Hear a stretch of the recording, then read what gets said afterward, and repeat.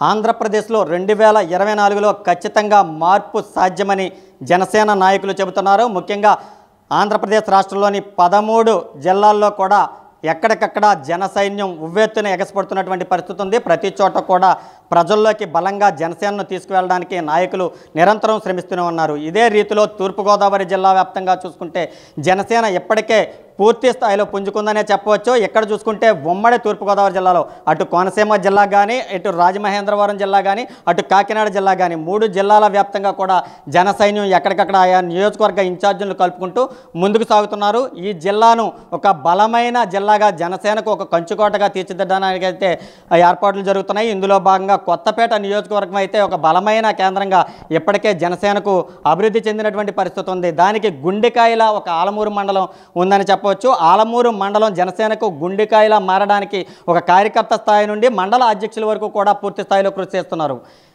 ఇక్కడ మరింత ఈ అభివృద్ధి జనసేన పార్టీని తీసుకువెళ్ళడానికి రెండు వేల ఇరవై నాలుగులో ఖచ్చితంగా ఇక్కడ ఎమ్మెల్యేగా బండారు శ్రీనివాసుని గెలిపించడానికి అక్కడ పవన్ కళ్యాణ్ను సీఎం చేయడానికి నడుం కట్టి ఇక్కడ మండలాధ్యక్షుడిగా ఉన్నటువంటి సూరపరెడ్డి సత్య పాదయాత్రకు శ్రీకారం చుడుతున్నారు. వచ్చే నెల ఐదవ తేదీన దీనికి సంబంధించి ఒక కార్యాచరణను ప్రకటించే అవకాశం కనిపిస్తుంది. ఐదవ తారీఖున ఇంటింటికి జనసేనను తీసుకువెళ్ళడంతో పాటు ఇక్కడ జరుగుతున్నటువంటి అరాచక పాలనను వైసీపీ అరాచక పాలన ప్రజల్లోకి తీసుకెళ్ళడం అలాగే పవన్ కళ్యాణ్ చేపడుతున్నటువంటి సుభిక్షమైనటువంటి ప్రజా ప్రయోజన కార్యక్రమాలను కూడా బలంగా ప్రజల్లోకి తీసుకువెళ్ళడానికి స- సత్య సిద్ధమవుతున్నారు. ఈ ఈ సందర్భంగా ఆలమూరు మండలానికి చెందినటువంటి నాయకులు అలాగే మండల అధ్యక్షుడు సత్య కూడా మనతో ఉన్నారు. వారిని అడిగి అసలు జనసేన పార్టీకి ఏ విధంగా పనిచేయబోతున్నారు ఈ మండలం ఏ విధంగా ఉండబోతుందో తెలుసుకునే ప్రయత్నం చేద్దాం. చెప్పండి సత్య అసలు జనసేన పార్టీకి ఒక కంచుకోటగా ఇప్పటికే అభివృద్ధి చెందింది. దీన్ని అధికారం వైపు తీసుకెళ్ళడానికి మెజార్టీ ఇవ్వడానికి మీరు ఎటువంటి కసరత్తులు చేస్తున్నారు?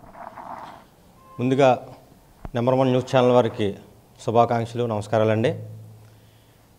ఎప్పుడూ కూడా మా ఆలమూరు మండలానికి ఒక ప్రత్యేకమైన గుర్తింపు ఉండేది. గతంలో మా ఆలమూరు మండలం ఆలమూరు నియోజకవర్గం.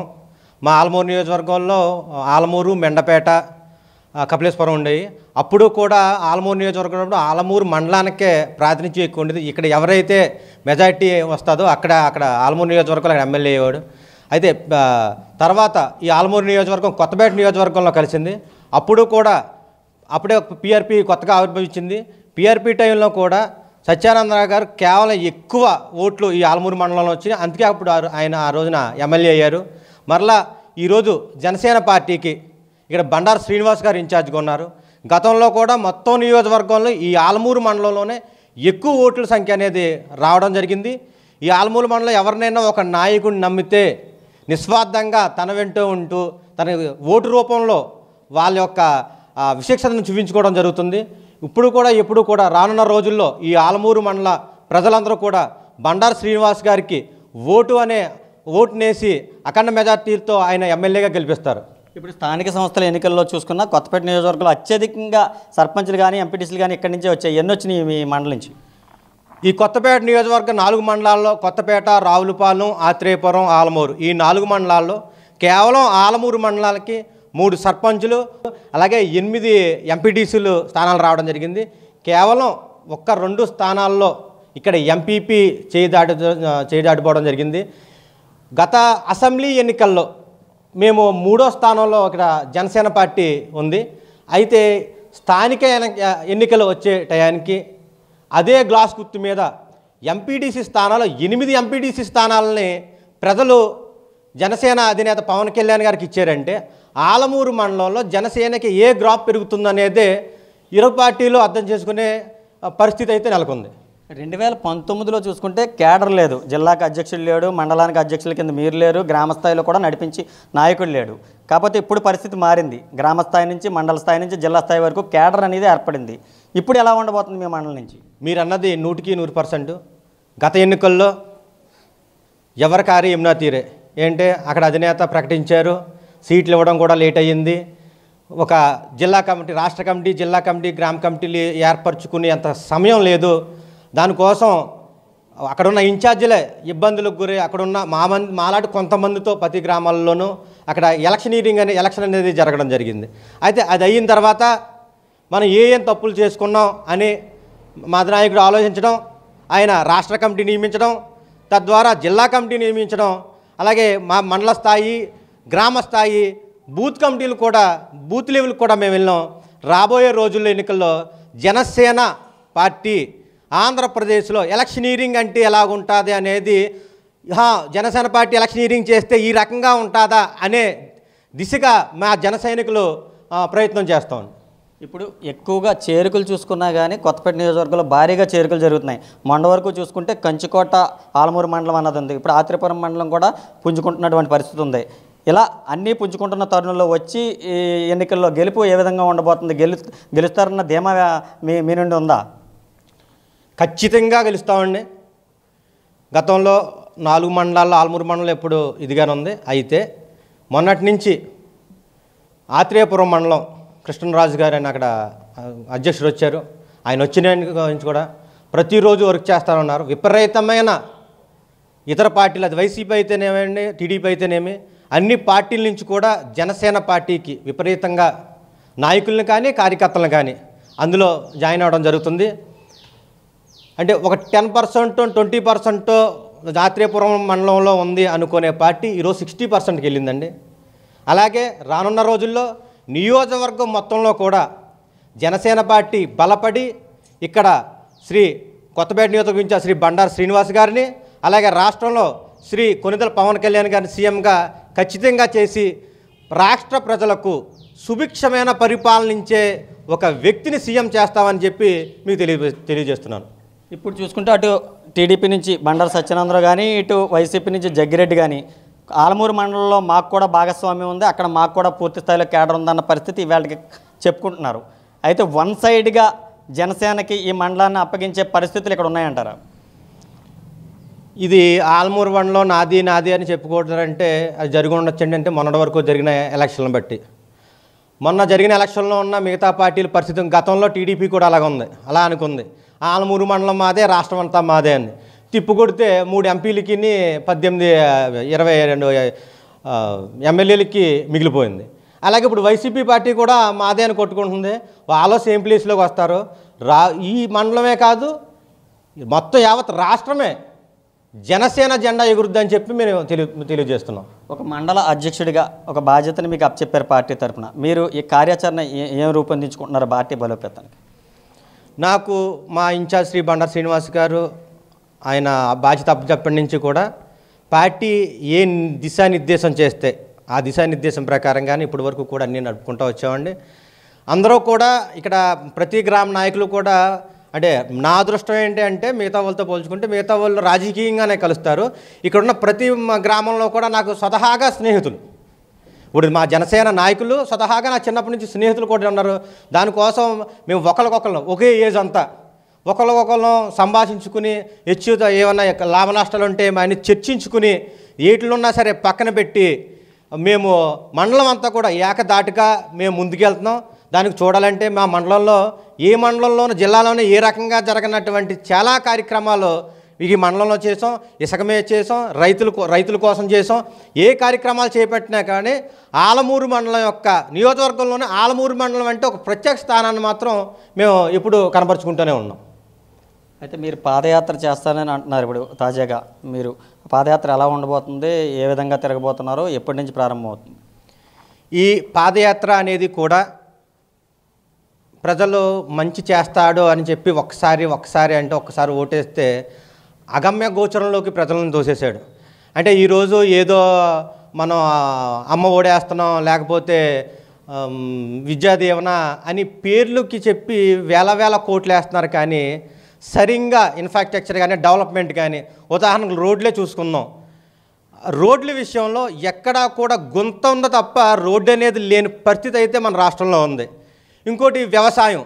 వ్యవసాయాన్ని ఉద్ధరిస్తానో ఉద్ధరిస్తానన్న చెప్పినోడు తప్ప రైతుకి నేనున్నానన్న భరోసా లేదు. దాని ఉదాహరణ చూసుకుంటే మిగతా పార్టీలు కౌలు రైతులు చనిపోతే మేము కౌలు రైతులకు ఇస్తాం అనేది ఉంది కానీ ఇంత ఇస్తాం అనే పరిస్థితి చేసుకున్నది లేదు. కానీ ఈ వైఎస్ఆర్సీపీ వచ్చిన తర్వాత కౌలు రైతు చనిపోతే మేము ఖచ్చితంగా ఏడు లక్షల రూపాయలు ఇస్తామని ఒక జీవో కూడా పాస్ చేసుకోవడం జరిగింది.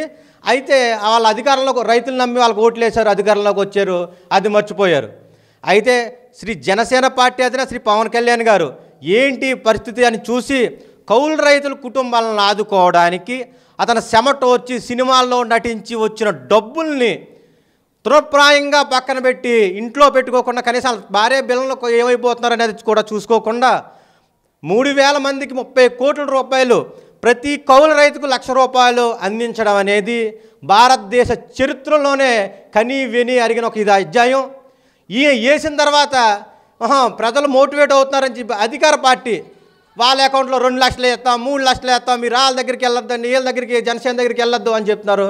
అయితే మీరు ఇక్కడే గ్రహించండి. జనసేన అధినేత పవన్ కళ్యాణ్ గారు లక్ష రూపాయలు వేస్తే అధికార పార్టీ దిగొచ్చి మీరు మీటింగ్కి వెళ్ళొద్దు ఆ డబ్బులు తీసుకోవద్దు. మేము మీకు అవసరం ఏడు లక్షల రూపాయలు కూడా వేస్తున్నామంటే ఇన్ని సీట్లు వచ్చిన అధికార పార్టీ ఏ ఏ స్థాయిలో భయపడుతుంది అనేది ఒకసారి మీరు అర్థం చేసుకోవచ్చు. అదేవిధంగా అరాచకాల పరిపాలనలో గతంలో టీడీపీని చూసాం ఇప్పుడు వైసీపీని చూసాం. నూనె రేట్లు అన్నామండి పప్పు దినుసుల రేట్లు అయితే అన్నామండి ఈ ఇంకా మద్యం అయితే గతంలో నూట ఇరవై ఎనభై రూపాయల దగ్గర నుంచి అరవై రూపాయల దగ్గర నుంచి దొరికింది. ఇప్పుడు అదే మద్యం రెండు వందల స్టార్టింగ్ నుంచి దొరుకుతుంది. ఇప్పుడు కూలి పని చూస్తే మనం బయట ఐదు వందల రూపాయలు కూలి ఉంటుంది. రెండు వందల రూపాయలు మద్యానికి వెచ్చిస్తే ఆ కూలి పని చేసుకునే వ్యక్తి మ- మధ్యానికి రెండు వందలు వెచ్చించి మిగతా వాటికి యాభై రూపాయలు వంద రూపాయలు వెచ్చిస్తే ఆ మిగిలిన రెండు వందలు పెట్టుకెళ్ళి సంసారాన్ని ఏ రకంగా సాగిస్తాడు? ఆ రెండు వందలను చివర తీసుకెళ్తాడా? చాలా కుటుంబాలు ఆడవాళ్ళు పైకి చెప్పుకోలేని దుస్థితుల్లో ఉన్నారు. మద్యాన్ని మద్యపాన నిషేధం చేస్తానంటూ చెప్పి ఈరోజు చాలామందిని మద్యం మద్యపానం మద్యం తాగే విధంగా ఈ గవర్నమెంట్ చేస్తుంది. అది మనం ప్రత్యక్షంగా చూస్తున్నాం కూడా. అదేవిధంగా ఎన్నో ఒక ఒక డ్రైనేజ్ సమస్య కానీ కాలువ సమస్య కానీ ఒక్కటి ఒక్కటంటే ఒకటి నిరుద్యోగులకు వేరే ఒక సాఫ్ట్వేర్స్ కంపెనీస్ కానీ ఏమైనా తెచ్చి మేము తెచ్చామురా అని చెప్పుకోవాలి. ఈయన ఏం చేశాడ్రా అంటే ఆ పులివెందుల్లో చేపలో రొయ్యలో అమ్ముకునే ఒక సంతోటి అటుకొచ్చాడు. ఇది ఎక్కడా కనీవేని ఎరిగిన చరిత్రలో చూడండి ఇది. చేపల చేప రైలు పీతలు అనుకునే సంతలు మన కాకినాడలోనే మన ఈస్ట్ గోదావరిలో చాలా ఫేమస్. ఒక సాఫ్ట్వేర్ ఇంజనీర్ చదివిన ఒక ఎంబీఏ చదివిన వీళ్ళకి మల్టీమీడియా కంపెనీలు కానీ సాఫ్ట్వేర్స్ కంపెనీస్ కానీ ఇక్కడ వైజాగో విజయవాడ గుంటూరో ఎక్కడో చోట మనం తీసుకొచ్చి వాళ్ళకి ఉపాధి అవకాశాలు కల్పించాలి. ఈయన ఏం చేశాడు అంటే ఇటు పల్లీని పొట్ట కొడుతూ అక్కడ చేపల రైలు మార్కెట్ పెట్టాడంట. అక్కడికి వెళ్ళి చేపల రైలు మార్కెట్ కొనుక్కో పెట్టుకోవాలంటే మన ఊర్లో కొనుక్కుంటాం లేదా మన పక్క ఊరిలో కొనుక్కుంటాం కానీ చేపల మార్కెట్కి ఒక హబ్. ఇప్పుడు వరకు నాకు అంటే నాకు తెలిసి ఉండగా అన్నది ఒక ఐటీ హబ్ విన్నాను నేను. ఒక ఐటీ అన్ని సంస్థలు కలిసి ఉంటే దాన్ని ఒక హబ్ అంటారు. కానీ చేపలు రొయ్యలు పీతలు హబ్ తెచ్చాను అనే ఒక దౌర్భాగ్యమైన ముఖ్యమంత్రి ఎవడైనా ఉన్నాడు అంటే కేవలం ఈ రాష్ట్రంలో వైఎస్ జగన్మోహన్ రెడ్డే. ఇప్పుడు ఇవన్నీ మీ పాదయాత్ర ద్వారా ఇక్కడ ప్రజల్లోకి తీసుకెళ్ళాలనుకుంటున్నారా? ఖచ్చితంగానండి.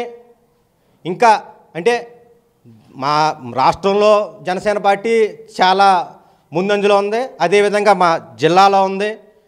ఇక్కడ కొత్తపేటలో ఉంది. జిల్లాలో జిల్లా అధ్యక్షుడు కందులు దుర్గేష్ గారు చే పగ్గాలు చేపట్టినప్పటి నుంచి కూడా పంతొమ్మిది నియోజకవర్గాలను కలుపుకుంటూ నాయకులను కలుపుకుంటూ జన సైనికులను వీర మహిళలను కూడా కలుపుకుంటూ తనదైన శైలిలో జిల్లాలో ముందుకు తీసుకెళ్తున్నారు. అదే అదేవిధంగా మా నియోజకవర్గ ఇన్ఛార్జ్ గారు శ్రీ బండారు శ్రీనివాస్ గారు. ఆయన అయితే ముందు నుంచి కూడా ఒక సామాన్య వ్యక్తి ఎలాగైతే తిరుగుతాడో ప్రజల్లో నేను ఒక ఇన్ఛార్జినని కానీ లేకపోతే నేను గొప్పోడనే కానీ ఏ వట్టి భావం లేకుండా ఒక సామాన్యుడు. ఏమండి సార్ ఈరోజు సాయంత్రం పెళ్ళి అయితే ఇప్పుడు మనం చెప్పినా కానీ "ఓ, మన జన సైనికుడు అని చెప్పి ఆయన అక్కడికి వచ్చి అది పెళ్ళి అవనే లేకపోతే వేరే చిన్న కార్యక్రమం ఏదైనా సరే నియోజకవర్గంలో ఏ మూల నుంచి ఎవరు పిలిచినా కానీ ట్వంటీ ఫోర్ ఇంటూ సెవెన్ ఆయన కష్టపడుతూనే ప్రజలకు అందుబాటులోనే ఉంటా ఉన్నారు. అదేవిధంగా నియోజకవర్గంలో ఎవరికి ఏ సమస్య వచ్చా నేనున్నాను అంటూ భరోసా ఇచ్చారు. ఎన్నో సేవా కార్యక్రమాలు జిల్లాలోనే ఎక్కడో జ జరగని సేవా కార్యక్రమాలు కేవలం ఒక కొత్తపేట నియోజకవర్గంలోనే మాత్రమే జరుగుతున్నాయి. కనుక ఇటువంటి ఉన్నతమైన వ్యక్తుల్ని ఉన్నత ఆశయాలు ఉన్న వ్యక్తుల్ని మనం వదిలేసుకోకూడదు. వీళ్ళకంటూ మేధావులు చాలామంది ఉంటారు. కానీ ఆ మేధావి ఏంటి అనేది తేలాలంటే అతన్ని మనం ఒక స్థాయిలో కూర్చోబట్టాలి. అంటే ఈయన శ్రీని గారు ఎంత మేధావైనా ఆయన తీసుకెళ్ళి మనం ఆ అసెంబ్లీ సీట్లో కూర్చోబెట్టినప్పుడే ప్రజలకు ఏం చేయాలరా అనేది ఆయన చేయగలడు. కానీ మనం ఓటు వేయకుండా మా సీని గారు మా సీని గారు అంటే ఇక్కడ సీని గారు కానీ కావచ్చు రాష్ట్రంలో పవన్ కళ్యాణ్ గారు కావచ్చు మనం ఓటేసి గెలిపించి వాళ్ళ స్థానంలో వాళ్ళ కూర్చోబెట్టినప్పుడే ప్రజలకు ఏం చేయాలన్నా కానీ వాళ్ళు చేయగలరు. ఓటేయకుండా మాత్రం మనం ఏం చేసినా వాళ్ళు ఏమీ చేయలేరు. కనుక ప్రతి మా మండలంలో ప్రతి ప్రజలు వాళ్ళు ఈ క్యాస్ట్ ఆ క్యాస్ట్ ఏదన్నది కదా ప్రతి గుమ్మం కూడా డోర్ టు డోర్ ఎక్కి ఇక్కడ నుంచి ఇక్కడ నియోజకవర్గ ఇన్ఛార్జ్ శ్రీ బండా శ్రీనివాస్ గారి కోసం రాష్ట్రంలో మన అధినేత శ్రీ పవన్ కళ్యాణ్ గారి కోసం క్షుణ్ణంగా ప్రతి ఒక్కరితో అవసరమైతే పది నిమిషాలు టైం తీసుకుని మాకేమి కంగారు లేదు పది నిమిషాలు టైం తీసుకుని పవన్ కళ్యాణ్ గారు ఏమేమి పనులు చేస్తున్నారు? ఇప్పుడున్న అధికార పార్టీ ఎంత దౌర్భాగ్యమైన పాలన నిర్వహిస్తుంది? అంటే చాలామంది అప్పర్ అంటే లో క్లాస్ పీపుల్కి మిడిల్ క్లాస్ పైలకి అర్థమవుతుంది. అంటే మనకి మనం పనిలోకి వెళ్ళి వస్తున్నాం ఇద్దరు సంపాదించుకుంటాం.